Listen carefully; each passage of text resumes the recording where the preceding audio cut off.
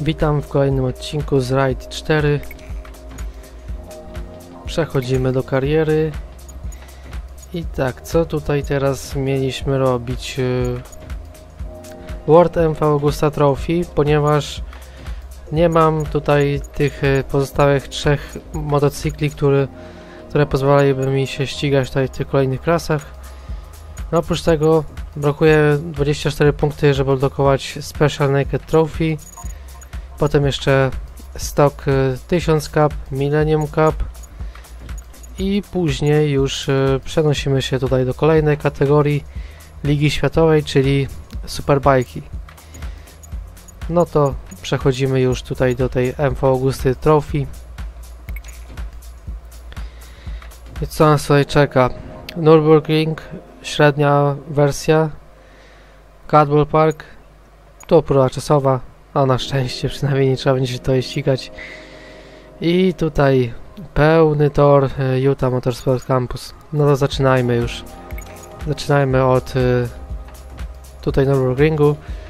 Szybkie spojrzenie jeszcze, czy MV Augusta? No dokładnie, MV Augusta jeszcze nie jest wzmocniona. Tylko zobaczę jeszcze na, na regulamin. Tutaj nie ma określonego regulaminu. Po prostu trzeba mieć ten motocykl MV Augusta 1090 RR. Bo czasem jest tak, że jest taki zakres i trzeba po prostu być w tym zakresie żeby móc y, rywalizować. No tutaj widocznie nie ma ograniczeń, po prostu trzeba mieć ten motocykl.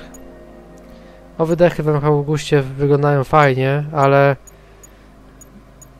ale niektóre wydechy znacząco zwiększają moc. Tak, tutaj jest, o ten dodaje, ten jest 190, no nie wygląda może tak fajnie jak y, fabryczny wydech, ale tu nie chodzi o wygląd, tu chodzi o to, żeby, żeby ten motocykl jechał jak najlepiej. Hamulce widać też jeszcze, jeszcze są oryginalne, teraz już nie. I co, to, co tutaj jeszcze? Sliki chyba są kupione, są. Felgi fabryczne są, ale tutaj może jakoś niespecjalnie mi tutaj wzrośnie wzrosną mi tutaj statystyki, a te fabryczne felgi nawet fajnie wyglądają. I teraz już się możemy ścigać. 190, y, blisko 3 konie mechaniczne. No, czyli całkiem już niezła maszyna. Ma więcej mocy niż taki przeciętny właśnie motocykl sportowy o pojemności 1000. No i zobaczymy jak się spisze. No cóż, yy, dawno już nie jeździłem tak mocnym motocyklem. No ostatnio może ta próba czasowa w Macau.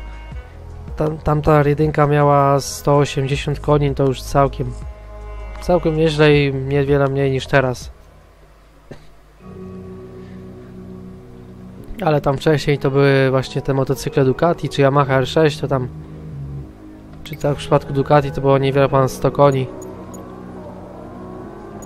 Opony tutaj mogę wybrać. 5 okrążeń. Zostaje może pośrednie. Tutaj 70%, ten poziom mi tak skacze troszkę, ale niech zostanie ten 70%. I tak przystępujemy do pierwszego wyścigu w tym odcinku.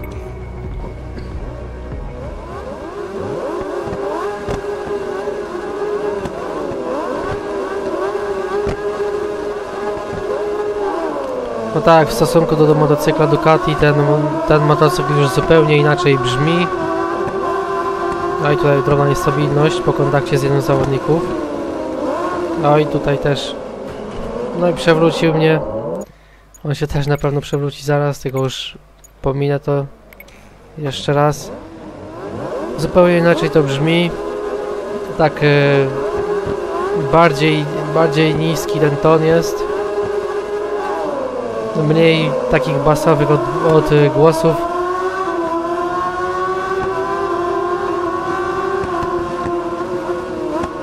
Aj, teraz pewnie przesadziłem. Nie dużo zahaczyłem o żwir. No ale tylko trzech zawodników jest z przodu. Czterech teraz. No tylko przez moment. ważne, żeby się odkleić jak najszybciej od tych, tych zawodników z tyłu i tutaj pogonić za tymi z przodu.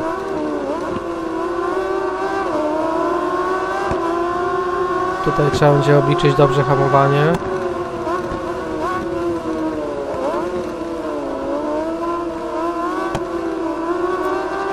Trzecie miejsce już jest moje. Jeszcze tylko tych dwóch zawodników. Tu jest ważne wyjście. Może i najlepsze. Ale gonię ich.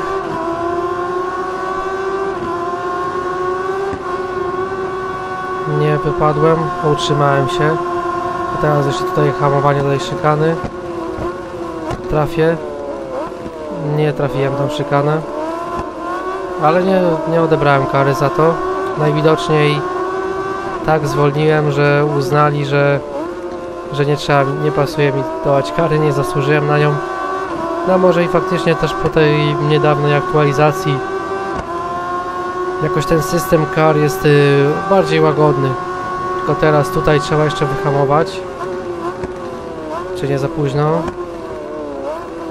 Troszkę za późno jeszcze. Trudne jest hamowanie tego pierwszego zakrętu na Nürburgringu. Ciężko tak dokładnie wyczuć, jakiś taki fajny punkt orientacyjny sobie znaleźć. Ale skoro wyszedłem na prowadzenie, skoro się to udało tak w miarę nie trudno, to teraz jeszcze tylko pasuje no, narzucić dobre tempo.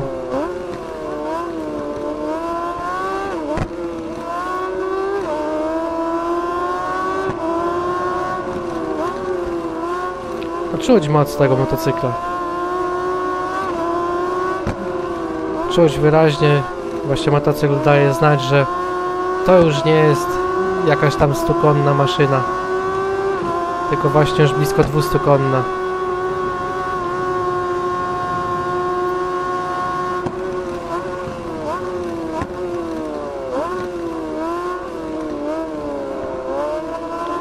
Teraz szykaną dobrze, chociaż przeciwnicy się zbliżyli.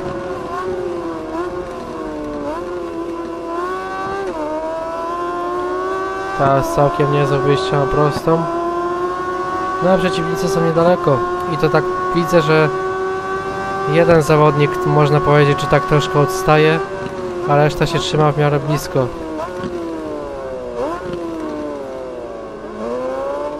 No teraz całkiem nieźle tutaj.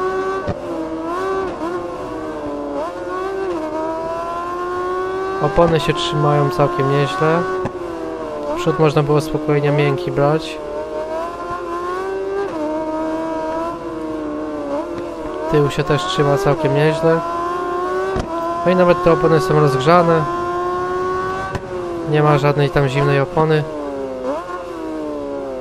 Tylko tak to tylne koło czasami ucieka i ślizga się na wejściach w zakręty.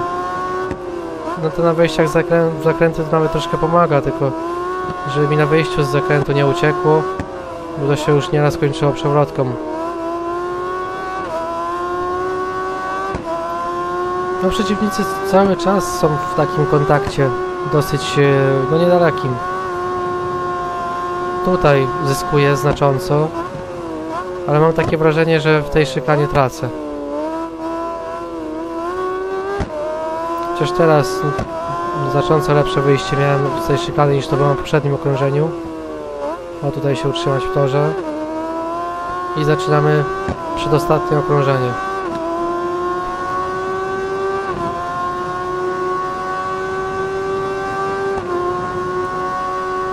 No teraz jeszcze taka informacja.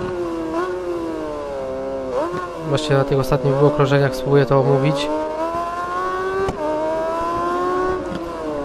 No jeszcze niestety zapowiada się, że nieprędko do tego dojdzie. Mowa o, o tym internecie, właśnie jaki u nas jest. No niestety na obecną chwilę internet to jest coś, co trochę ogranicza, trzyma rozwój naszego kanału. Właśnie to jeszcze na wakacjach. Na wakacjach y, tutaj w mojej okolicy rozwiesili przewody światłowodowe do właśnie do internetu, światło, internetu światłowodowego i było mówione wtedy na wakacjach jeszcze, że w październiku to wszystko zostanie podłączone. Mamy już listopad i nadal cisza. Tak jak mówiłem tam ostatnim razem, być może to jest wina właśnie obecnej sytuacji na świecie. Ale właśnie gdy, gdy już ten internet światłowodowy będzie u nas, to przede wszystkim zmiana taka duża, jaka będzie zauważalna, to jakość naszych filmów.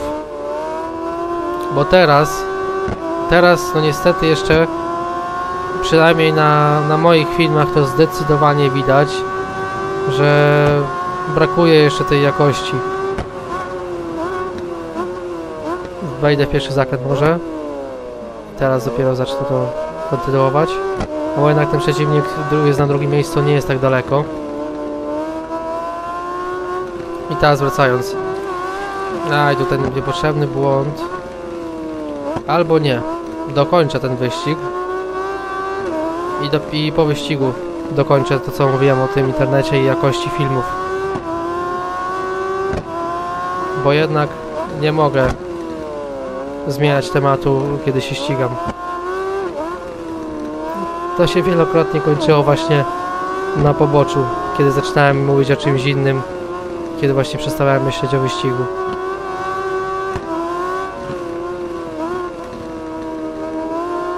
No jest tuż za mną. Pokazał się teraz wyraźnie. I to jest tylko ten jeden zawodnik. Teraz mam przewagę, no niewielką. Opóźniłem trochę hamowanie. A i tutaj uślizgiem wszedłem. Złe wyjście z szykany. Ale może się uda. Ostatni zakręt. Wyjście. I udało się. No na tym ostatnim okrążeniu trochę mnie postraszył. Ale się udało. No i dobrze, teraz już spokojnie. Wracając do tego. Na razie na obecną chwilę to wygląda tak. Moje filmy po nagraniu mają około 3 giga. Tyle zajmują miejsca na dysku. No to miejsce na dysku to oczywiście to nie jest żaden problem. Tylko chodzi o, o to później, żeby te odcinki wysłać na kanał. I cóż, yy, 3 giga wysłać, no to niestety na obecną chwilę dla naszego internetu to jednak jest sporo. I dlatego trzeba niestety trochę pogarszać jakość tych filmów. No niestety jednak na rajdzie to jest zauważalna różnica, jeśli tak w cudzysłowie pogorszy się jakość filmu. Bo na moich odcinkach z Formuły 1 to, że jakość tam jest pogorszona tych filmów, to jakoś tak no niezbyt to, niezbyt to widać tak jak widać w rajdzie, bo w rajdzie to jest naprawdę czasami to jest no niestety mm, tragedia. Zwłaszcza jak jest taki odcinek leśny, coś na przykład jak y, Kanto, jak się jedzie przez Kanto, właśnie tam y, po lesie czasami, to tam to czasami wygląda naprawdę bardzo źle, jak się rozmywa ten obraz. A tak właśnie w formule, no to... O nie, nie, nie, ja teraz się zupełnie zapomniałem. A, czas już leci, to nie. Powtarzam. Zapomniałem zupełnie na jakiej wersji toru kadło się ścigam.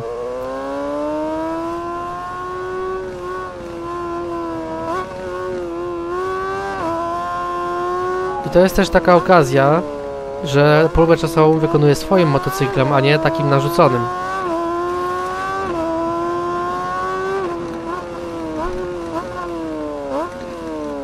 Teraz całkiem nieźle tu wyhamowałem, ale to pokonanie tego zakrętu chwilę zajęło. I cóż, wydaje mi się, że teraz... No tak to jest, dokładnie. Teraz, jeśli wykonuję próbę czasową i wyjadę za tor, to mi tej próby czasowej nie przerywa. A dawniej, przed aktualizacją gry, no jakikolwiek wyjazd poza tor podczas próby czasowej, to no z góry od razu była dyskwalifikacja, tak jakby. I przewracać się można też w próbie czasowej teraz. Na to nic dobrego, wiadomo, ale... Ale nie przerwać ta próba czasowa. Jeszcze ostatni zakręt. Jaki będzie czas? Minuta 02 na złoto. Jest złoto. Na swoim motocyklem, takim bardzo mocno zmo- zmodyfikowanym, udało się to zdobyć. No i właśnie jeszcze wracając tam, 3 GB mają moje filmy z rajda około po nagraniu, a kiedy przepuszczę je przez program, który pogorszy trochę jakość, to wtedy te filmy zamiast 3 GB zajmują tak y, około 1,5 GB czy 1,6 GB. Właśnie 1,6 GB wysłać, a wysłać 3 GB, no to już jest różnica. I właśnie w przypadku naszego internetu to jest kilkugodzinna różnica. I właśnie dlatego jeszcze, dopóki o, będzie ten na, na razie nasz obecny internet, to, to moje filmy będą wyglądały tak, jak wyglądają, a jeśli będzie, to zaczną wyglądać te filmy lepiej. I tak y, niedawno wypuściłem kilka filmów, tak troszkę w lepszej jakości, bo właśnie nic mnie nie, tam nie, nie poganiało, miałem nagrane odcinki na zapas, nawet i cały dzień mogłem wysyłać y, odcinek, więc no, mogłem sobie na to pozwolić. I kiedyś tam te odcinki wyglądały lepiej. No ale mówię, no, będzie ten światłowód u nas to, to nawet i pojawią się odcinki już y, nie w jakości 720, tylko, tylko w jakości Full HD 1080. Bo nasze filmy oczywiście są nagrywane na razie w tej jakości 720p.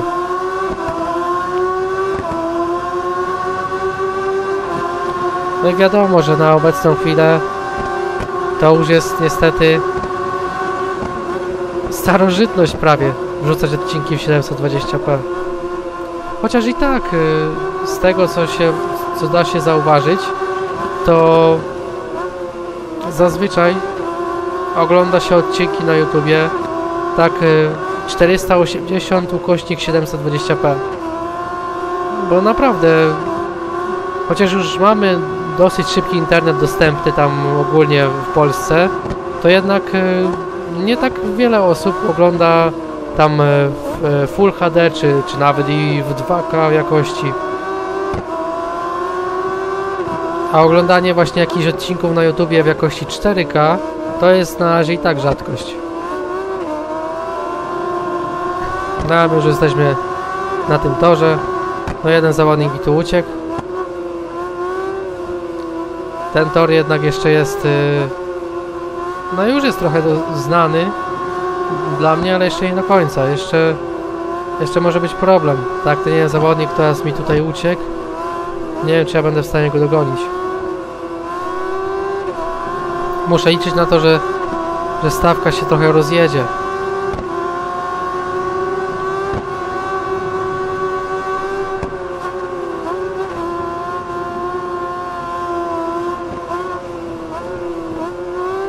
No tutaj go dogoniłem trochę. Jak teraz będzie wyglądał zakręt? Taki prawy.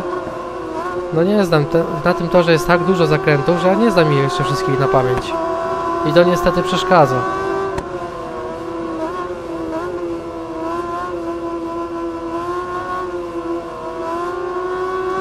Tutaj końcówka okrążenia już. Tutaj trzeba przehamować. I tutaj można już tak, taka duża szykana. Teraz taki lewy zakręt, który już prowadzi nas do końcówki okrążenia.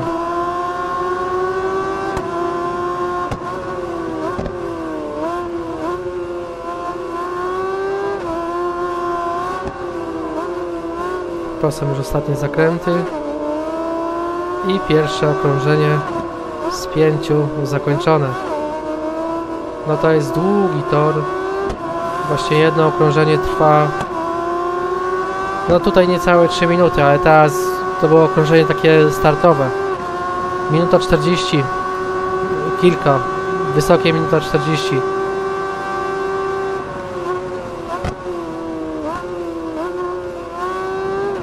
A mi się na tym pierwszym okrążeniu tylna opona bardzo zużyła, pomimo, że wziąłem twardą. I też właśnie taki tor, tyle zakrętów, a się ta twarda opona nie rozgrzewa, nawet z przodu jest pośrednia i ona też ma problem, żeby się rozgrzać. O, delikatna kara za pana. Tutaj trochę za wcześnie zahamowałem. No mam taki kontakt jeszcze z tym zawodnikiem z przodu. To dobrze. Dobrze, że mi nie odjechał. No jest takie miejsce na torze, gdzie się zauważalnie do niego potrafi zbliżyć. Ale jeszcze do tego dwa zakręty. Teraz taki lewy z kilkoma wierzchołkami. Coś trochę jak e, zakręt numer 8 w Turcji, w którym formuła będzie się ścigała w połowie listopada. Ale tutaj straciłem sporo na tym. I teraz wychodzimy na ten prosty odcinek, na którym jestem szybszy od tamtego z przodu. No ja ogólnie na prostych jestem szybki dosyć.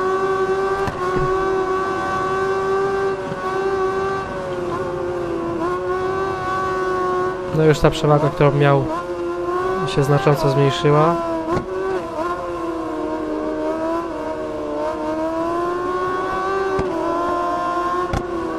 No ale słychać, że zawodnicy z tyłu też są całkiem blisko.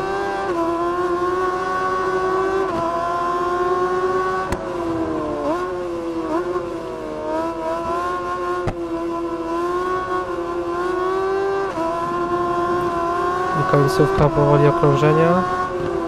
Tutaj ważne, żeby sobie dobrze wyjść i tutaj można już ściąć delikatnie. Za to nie ma kary. A jest jednak. No ale to jest jazda po tym po tych tarkach, więc z jednej strony nie spodziewałem się kary za to, ale jednak jest.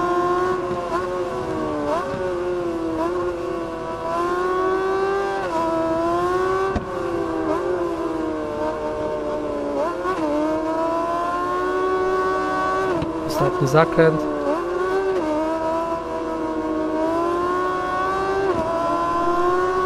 Sekunda przecinek 6 przewagi ma.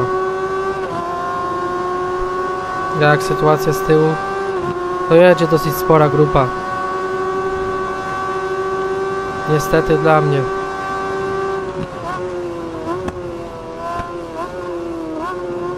Jakby ta grupa była mniejsza, to bym się bardziej cieszył. Bo jak tam ta grupa by dojechała do mnie, no to wiadomo, jeden błąd oznacza stratę wielu pozycji.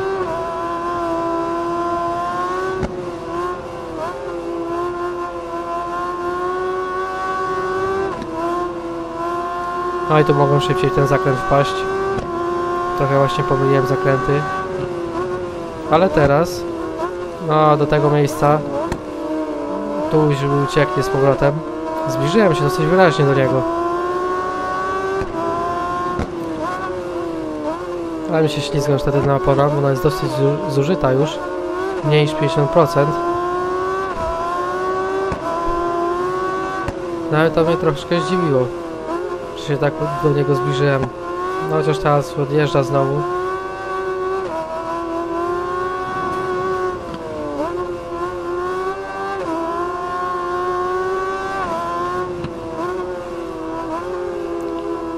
Ale mam wrażenie, że jestem troszkę bliżej teraz, wychodząc na ten prosty odcinek. Trzeci zawodnik trochę został.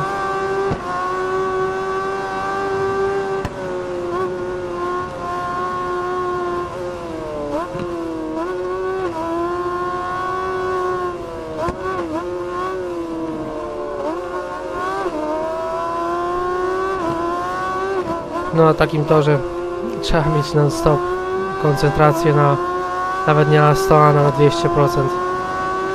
To jest zakręt na zakręcie. Jest tylko niewiele takich odcinków, gdzie można sobie w cudzysłowie odpocząć. Ważne jest to, żeby też się spoglądać na minimapę co jakiś czas, żeby się orientować mniej więcej w jakim miejscu się jest. Oj, tutaj źle. Dostałem już sporą karę, no ale to raczej przez to, że znowu tą szykanę która tak na pierwszy rzut oka wydaje się, że można to robić, a jednak nie można. No ale ten zawodnik coś tak jakby teraz to tempo mu spadło. Bo nawet ja nie wydaje mi się, żebym jechał zbyt czysto, a, a jestem w stanie się utrzymać za nim. Czyżby założył miękkie opony? No bo tutaj tak blisko, jak jestem niego, wychodząc na prostą, wydaje mi się, że ja dam radę go wyprzedzić. No to było moje najlepsze okrążenie, ale teraz bez problemu go wyprzedzam. I to jest przedostatnie okrążenie. Także jeszcze dwa, blisko 3 minutowe okrążenia, jeśli chcę wygrać, ale drugie miejsce tutaj też mnie zadowala. Drugie miejsce biorę w ciemno na tym torze. Podoba mi się ten tor, jego lokalizacja, ale jednak e, no nie jest łatwo. O tutaj trzeba pamiętać, tutaj mogę szybciej przejechać, o tak. Zawsze tutaj wolno wychodziłem na tą prostą, a jednak muszę pamiętać, że tamten zakręt, który na nią prowadzi, można zdecydowanie szybciej pokonać. No zbliżył się do mnie, a teraz w ogóle ten tor to jest tak, że w jednym miejscu jest szybszy ten, który jest z tyłu, w innym miejscu znowuż ja jestem szybszy. On jest tutaj szybszy na, w tym miejscu. Właśnie w tym kilku wierzchołkowym lewym zakręcie. Ale nie wyprzedził mnie. Tutaj pewnie to zrobi. Tak, zrobił to zupełnie inna linia jazdy. Ale ja też nie zamierzam jakoś walczyć nim, z nim, bo ostatnie czego chcę to, żeby, żebyśmy obydwaj wylecieli z tego wyścigu. Ale teraz tutaj go wyprzedziłem. I zobaczę, taki test sobie zrobię. Jeśli go wyprzedzę w tym miejscu, czy to wystarczy, żeby go utrzymać za sobą do mety.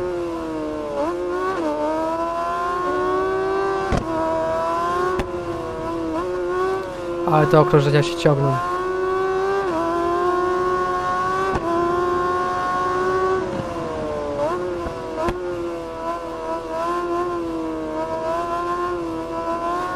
Teraz już. To miejsce to jest dla mnie już taka końcówka okrążenia. Zawsze właśnie jak jestem w tym miejscu, to już mi się tak wydaje, że to już jest końcówka okrążenia. Chociaż i tak jest jeszcze trochę do, do końca okrążenia.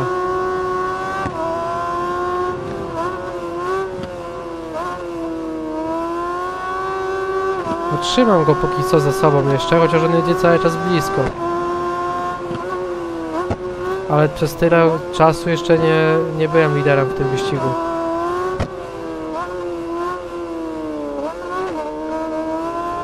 Ostatni zakręt. Zepsułem. Nie, tylko nie to. Przewrotka, a trzeci zawodnik jest tuż, tuż z tyłu. No i to z nim będę walczył. No, czyli będę walczył o drugie miejsce, a nie o zwycięstwo. No tego, tego się właśnie obawiałem. Ta grupa za mną jest dosyć spora.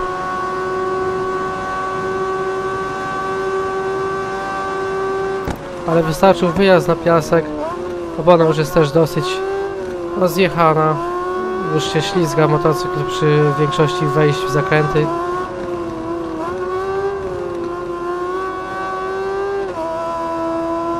W sumie to najlepiej będzie teraz nie oglądać się za przeciwnikami, tylko po prostu jechać jak najszybciej potrafię.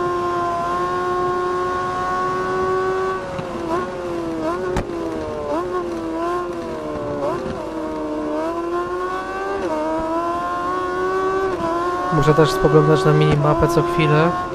Nie chcę, żeby mnie jakiś zakręt zaskoczył. Znam już ten tor tak w miarę, ale to i tak mimo wszystko zawsze może się wydarzyć tak, że może trafi się zakręt na przykład w prawo, a będzie mi się wydawało, że teraz w lewo.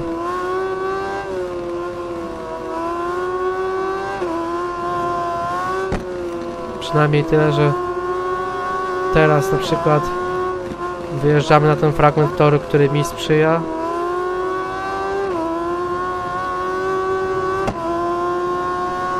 No nie dogonię już do tego z przodu. Nawet gdybym pojechał jakoś Niewiarygodnie szybko.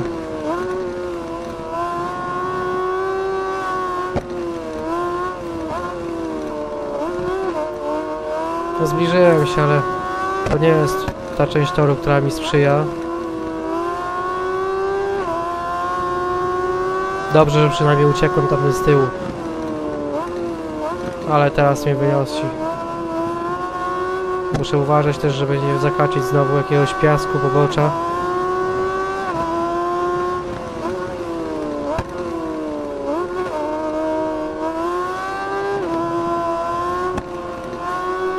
Czterysta siedemdziesiąt tysięcznych kary mam w sumie. Tyle uzbierałem w tym wyścigu. Ale wydaje mi się, że spokojnie. Muszę spokojnie jeszcze pojechać te ostatnie zakręty i będę miał to drugie miejsce. Była szansa na wygranie. Mogę ten wyścig wygrać. Ale tutaj w tym miejscu gdzieś tak, tutaj wyleciałem. Zahaczyłem piasku. A i tutaj znowu głęboki uślizg. Ale teraz już już to dowiozę bez problemu.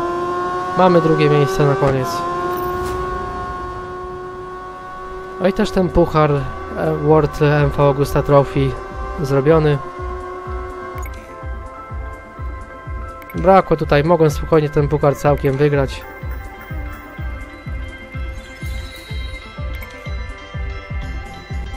A tak to ten puchar będzie tylko zaliczony, a nie wygrany całkowicie. Tutaj brakuje mi jeszcze 109 punktów, tutaj 209. Ale odblokowałem sobie tutaj Special Naked Trophy. Co my tutaj mamy? 4 wyścigi, no po 5 okrążeń. Championship na koniec. Utah, Cadwell Park i Donington. Ale jaki Cadwell Park? Nie jest pokazany. Full Circuit. A, czyli pełne okrążenie Cadwell Parku. Te trzy rzeczy, cóż, French Riviera, a to może być ciężko, bo to jest ta bardziej techniczna część tego toru, a nie taka dłuższa, otwarta. Donington Park, Imola, tu gdzie się Formuła 1 ścigała. W ostatnią niedzielę, no tak swoją drogą ten wyścig w Imoli był naprawdę szalony, zwłaszcza końcówka.